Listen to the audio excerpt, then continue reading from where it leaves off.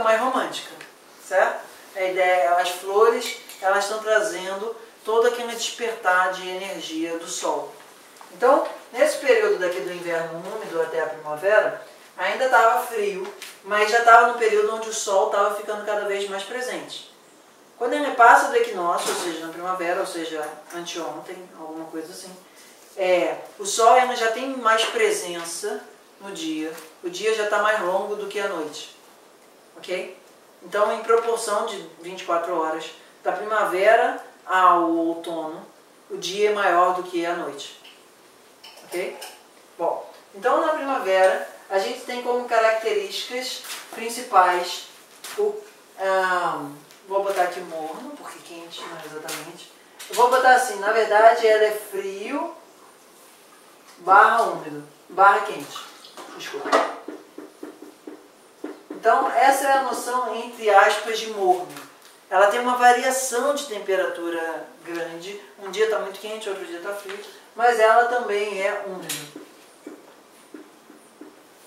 E esse é o período, como a gente viu, de o capa estar tá estressado. Então, se no inverno a gente está fazendo um monte de rotina de anticapa, na primavera a gente vai fazer rotina anticapa mais sarrafada no capa. Ok? É o momento, por exemplo, da gente fazer o Vamana, que é aquela emese terapêutica, chamar o Raul e. Calma, vamos chegar lá, fica tranquilo. Mas assim, o Ayurveda entende que nesse período do inverno úmido a gente vai acumulando muco. Esse, úmido, esse muco ele vai ficando congelado no nosso sistema, ou seja, ele fica com uma densidade que a gente não percebe ele muito.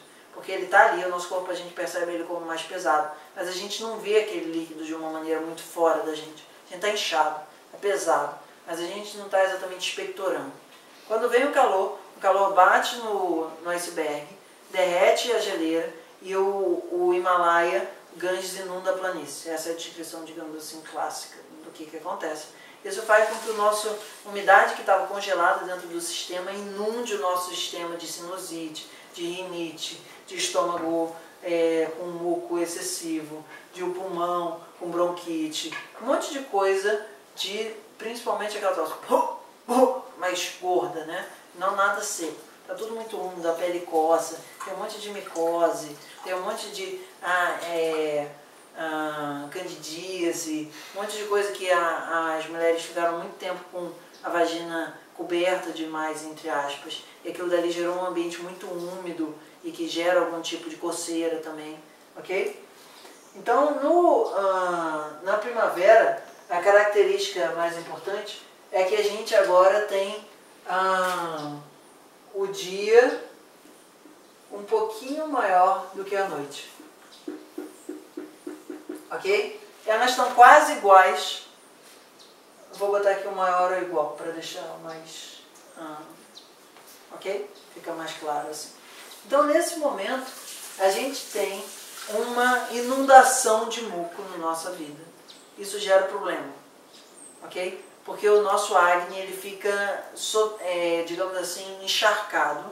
Isso significa que a gente deve reduzir ao máximo as coisas que são é, geradores de muco no nosso sistema, as coisas cafogênicas. Então, em um certo grau, a gente vai repetir o, ah, as propriedades eh, de picante, amargo e astringente, mas a gente vai fazer algumas outras considerações. E uma coisa que eu quero deixar ressaltada aqui é que o raça principal nessa época é o salgado.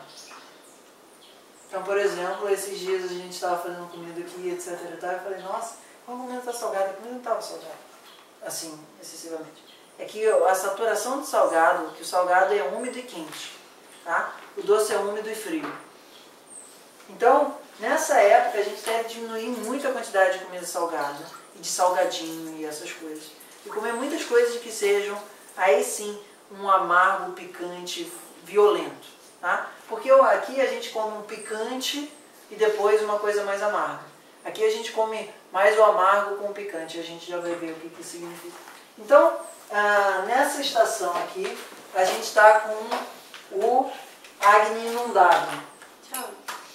O produtor, os negócios produtores de multiplicidade, você falou que queijo no anterior, mas é todos os laticínios, né? Menos o buttermilk, inundado. Mas buttermilk não é uma coisa que a gente tem no Brasil, então a resposta é sim. Tá? E na primavera também. E na primavera também. Que são os períodos onde o capa está tensionado e onde ele está gravado. Os vatos, esquece, os vatos podem comer um queijo minas, etc., sem o menor problema, tá?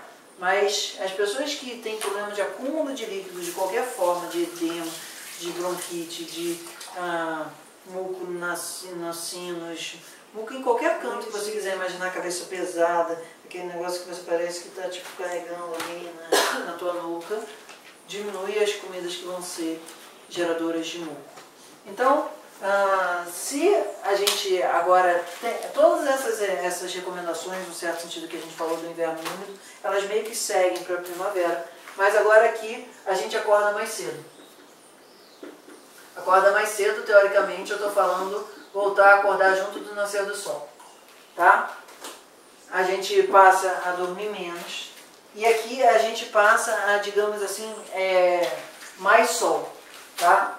Procurar ter mais exposição ao sol, porque o sol, ele, em um certo sentido, drena, resseca, como a gente falou, o cafa do nosso uh, sistema. Ok? Então, tipo, vai pra praia, pegar sol mesmo, é a época de uh, tirar aquele excesso de umidade, pegar as roupas, tudo que está no armário, botar para pegar sol, tirar, fazer o sol entrar na casa o máximo possível, tirar todos os, os tapetes de casa e botar no sol essa é uma época que se guardam os tapetes. ok? E aqui as cobertas elas podem continuar sendo ásperas, etc. e tal, mas a gente já não precisa tanto de cobertas quanto não precisa no, ah, no, no inverno úmido, certo?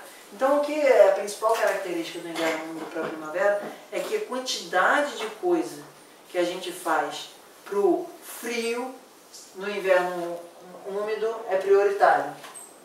Ok? E no, na primavera a gente está focando mais no úmido. Então o que, que isso implica?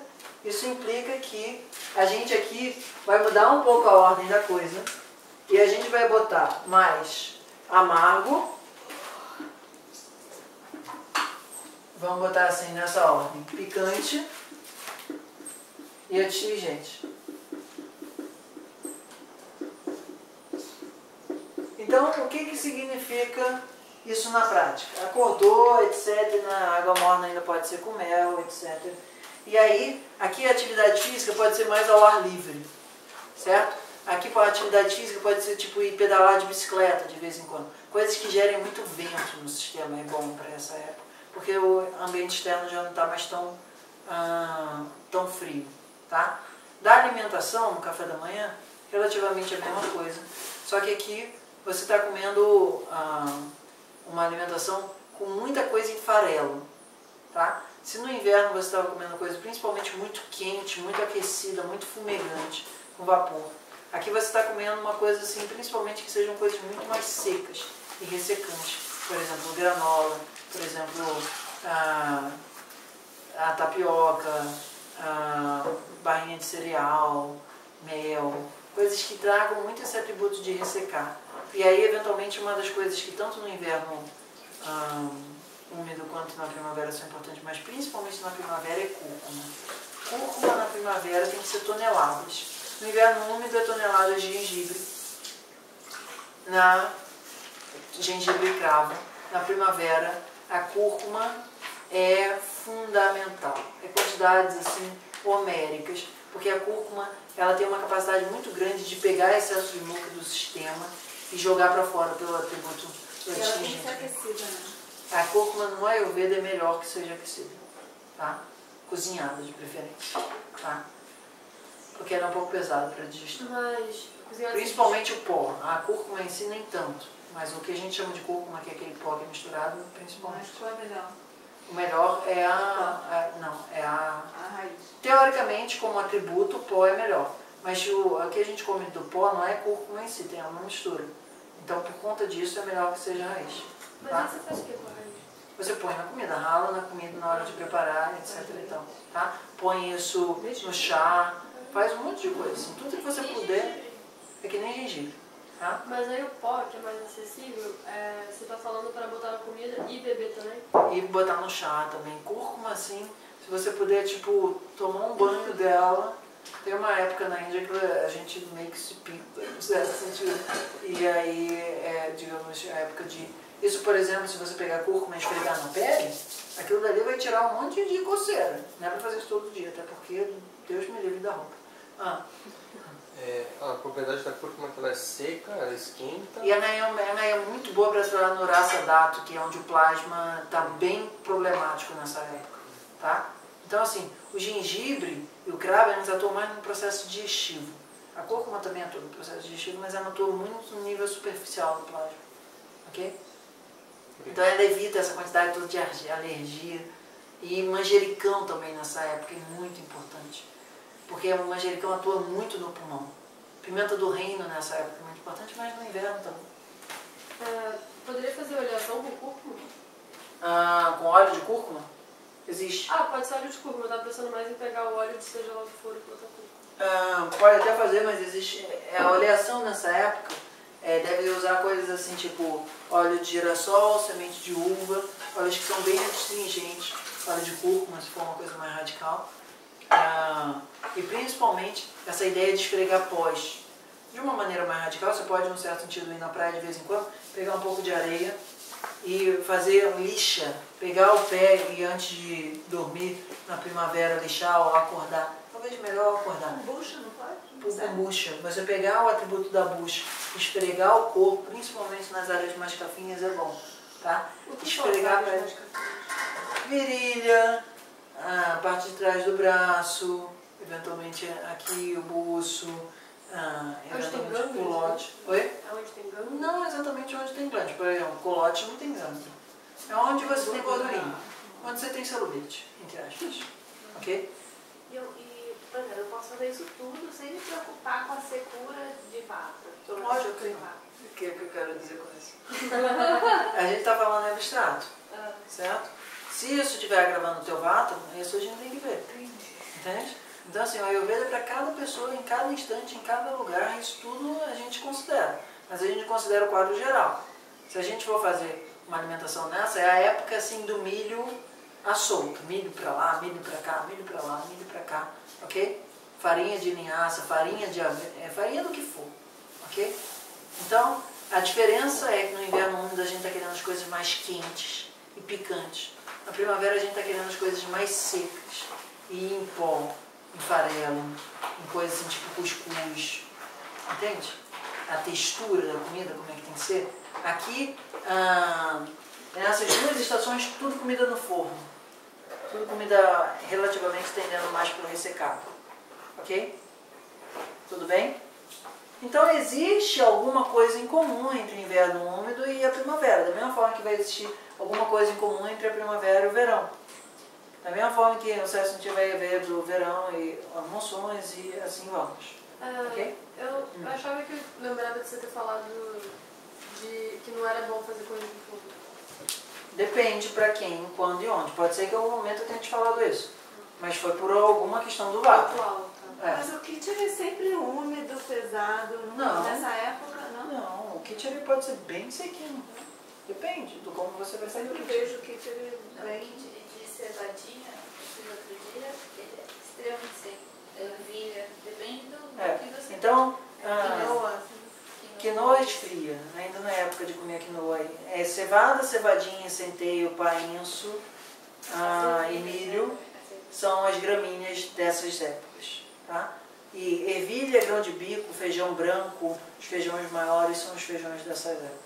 Tá? Aqui nessa época pode começar a entrar cogumelo também, desde que esteja cogumelo com bastante tempero. Ok? Eu não estou entrando aqui no detalhe muito das carnes, quais são os tipos, porque não é, é, a maioria das pessoas aqui não são muito carnívoras. Estou focando mais na parte da alimentação vegetariana. Mas o Ayurveda tem qual é o tipo de carne, qual época, etc. e tal. Ok? Qual seria o tempero para cogumelo? Tempero para cogumelo, nessa época, gengibre, pimenta do reino, coisas que esquentam bastante. Tá?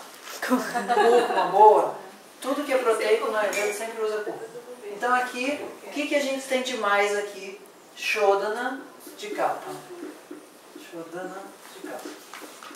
Essas palavras vocês conhecem do Nat Shurana, Shurana de capa. Isso significa Vamana. Então essa é a época na rotina anual ayurvédica que a gente gera um processo de encher o nosso estômago. Tem vários formatos, mas é o mais simples, que é do yoga. A gente enche o nosso estômago de muco e vomita um belo balde ali de água com sal. É, isso é, digamos assim, um formato caseiro. O formato do tratamento do Panchakarma envolve você ficar cuidando do Agni, fazer a oleação interna na pessoa e depois mobilizar aquele muco de novo todo para purgar aquilo para fora com toxina. Mas esse formato, assim, as pessoas que já são Ayurveda, já fez Panchakarma, etc. e tal, nessa época do ano, pode, um dia que sente que está com aquele gosto salgado na boca, acordou com gosto salgado, em específico, ótimo, teu carro está ali, tipo, falando, tô aqui a toda. Aí você pega, satura aquilo de salgado, que aquilo gera uma sensação de revolta no estômago e ele vomita. Com água morna, tem todo um procedimento. Não estou falando para vocês fazerem assim a torta direito, não. Só estou dizendo que isso existe dentro da rotina ayurvédica anual. O período de purgar a capa de dentro do corpo através desse vômito terapêutico. Ok? Porque o corpo ele está relativamente forte para aguentar um período de purgação. Então esse é um período muito bom de se pensar em fazer panchakarma. Basti também? Baixa ele tem a sua função, mas ele não é o que está mais agravado aqui. Baixa é mais outono, inverno, seco. Oi. É, o, o vômito também tem um efeito de. E aí é mais pra você dizer sim, né? De. Eu não lembro se era relaxar o diafragma. Se você estiver com muita tensão, se está respirando mal, às vezes isso te ajuda a voltar ao normal. Então, o, qualquer processo de ah, purgação assim muda a direção do vato. Se o vato está indo muito para baixo, você faz uma, um o vato vai para cima. Se o vato está indo muito para baixo, ah, muito para cima e você faz uma diarreia, o vato vai para baixo. Então a gente tem como, digamos assim, consertar o vato pelo, ah, por esses procedimentos também. Isso faz algum sentido. Ok? Tudo bem até aqui? Tá? Então, em um certo sentido, no inverno úmido a gente está saindo de casa com um belo de um casaco, é bom aqueles assim mais ásperos, aqueles ponchos, etc. e tal. E ah, com umas coisas mais rústicas, sabe? Aquele lenhador, etc. e tal. Aqui na primavera, a gente não precisa tanto mais cobrir o corpo, a gente tem que deixar o corpo mais exposto à luz do sol e ao, ao vento. Sol e vento nos dias que estão mais quentes. Ok? Pegou um dia de solzão, pega e sai dar um rolê de bike para aquilo drenar o teu sistema bem. Ok? Claro que considerando quem é mais caro, quem é mais etc. Estamos vivos até aqui? Namastê!